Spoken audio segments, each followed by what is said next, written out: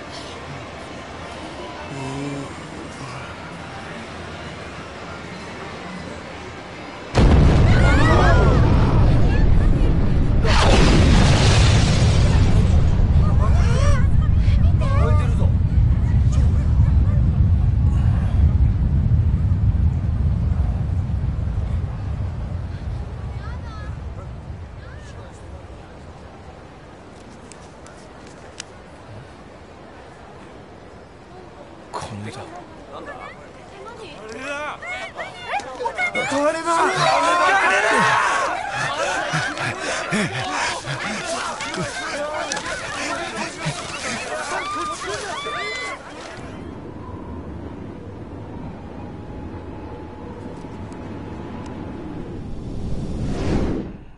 おい起きろ。起きろ。釈放だ。早く支度しろ。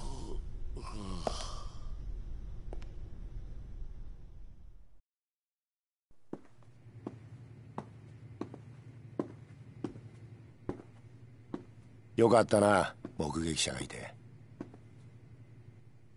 あの可愛い顔したお前さんの部下の子に感謝すんだな。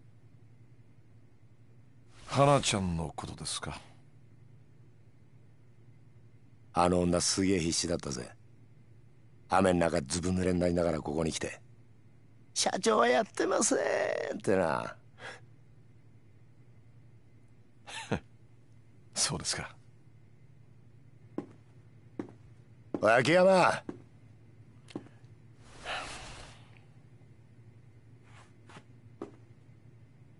これ以上金村工業みたいなクズとは付き合うな。駆け込み寺だかなんだか知らねえがてめえみてえに誰彼構わず金を貸すバカがいるとバカから金借りたバカが調子に乗って暴れんだ。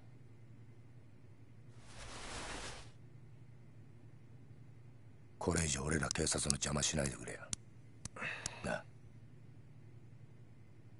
何が言いたいんですか？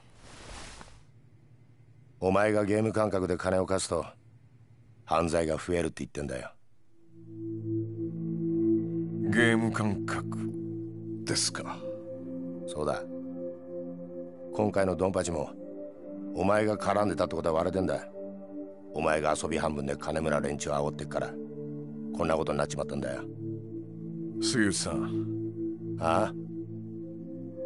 俺はね俺なりの信念があって金貸してるつもりなんですよ。だから金貸しはやめません。もういいですか？早く帰りたいんで。金村が死んだよ。いつ？お前がぐっすり寝ている最中だ。いいか？これ以上金村工業と上野清和会の件には関わるなてめえが金村の連中に近づいたらこっちも徹底的にお前のこと洗ってやるぞ。